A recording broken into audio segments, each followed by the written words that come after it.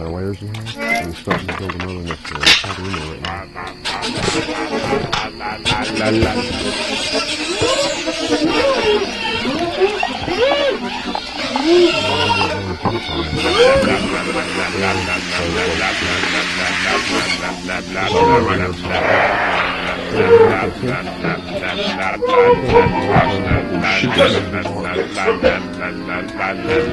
la.